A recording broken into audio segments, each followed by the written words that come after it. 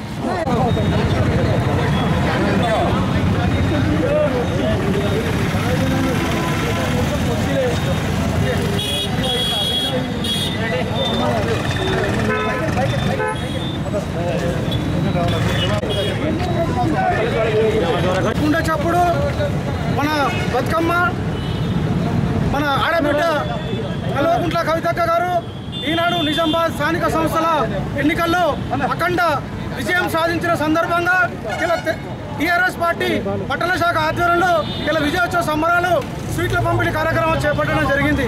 ఇలా కవితక్క తెలంగాణ రాష్ట్రంలో ఓటమి తర్వాత తెలంగాణ ప్రజానీకం అంతా ఈనాడు చాలా బాధపడ్డారు ఆనాడు కల్లిపల్లి మాటలు చెప్పి బీజేపీ కాంగ్రెస్ వాళ్ళు రైతుల ముసుగులో వేసుకొని ఆనాడు కవితక్కను ఓడగించడానికి సర్వశక్తి కొట్టినారు.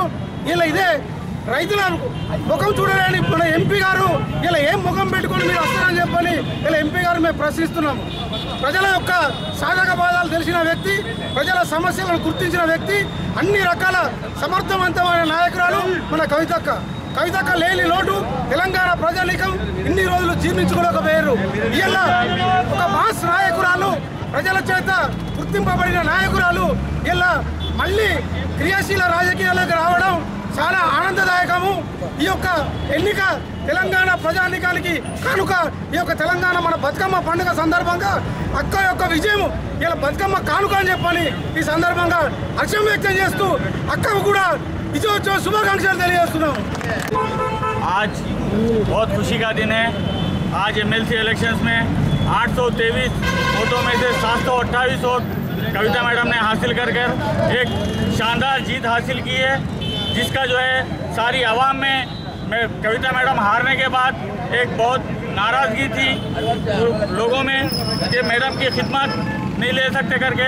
आज निजामबाद डिस्ट्रिक्ट के जितने भी वोटर्स आज कविता मैडम को वोट देकर जिताए हैं, हम उन सबका शुक्रिया अदा करते हुए आज हमारे एमएलए संजय कुमार साहब की क़्यादत में टीआरएस पार्टी टाउन पार्टी की तरफ से ये जो है मुनद किया गया है मैं बहुत बहुत शुक्रिया अदा करता हूँ నాయకత్వం కవితక్క నాయకత్వం ఈరోజు యావత్ తెలంగాణ రాష్ట్రం సంతోషపడే రోజు హర్షించే రోజు నిజామాబాద్ ఎమ్మెల్సీగా మన ప్రియతమ నాయకురాలు మాజీ పార్లమెంట్ సభ్యులు కవితక్క గారు ఈరోజు ధన విజయం సాధించిన విషయంలో ఈరోజు సంబరాలు జరపడం జరుగుతుంది.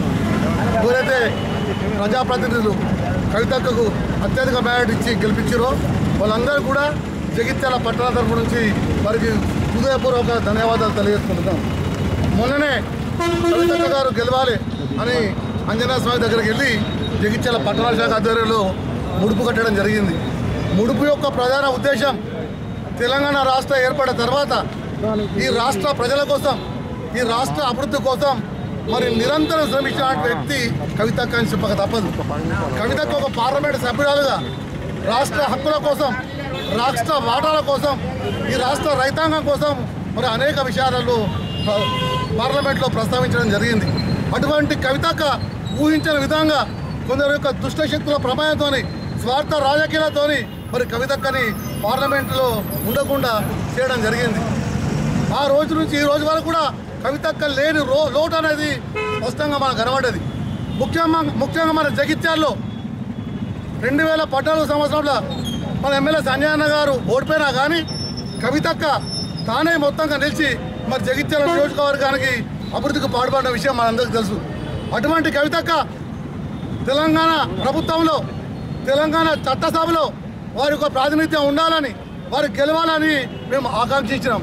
ఈ ఆకాంక్ష ఆకాంక్షకు అనుగుణంగానే ప్రజలు పెద్ద ఎత్తున దీవించి కవితక్కను గెలిపించినందుకు మరొకసారి నిజామాబాద్ జిల్లా ప్రజలందరూ కూడా ధన్యవాదాలు తెలియజేసుకుంటూ భగవంతుడు ఈ రాష్ట్ర ప్ర ఈ రాష్ట్ర ప్రజానీకానికి అన్ని విధాల సేవలు అందించే విధంగా కవితక్కకు మనోధైర్యాన్ని ప్రసాదించాలి శక్తిని ఇవ్వాలని మేము కోరుకుంటున్నాం.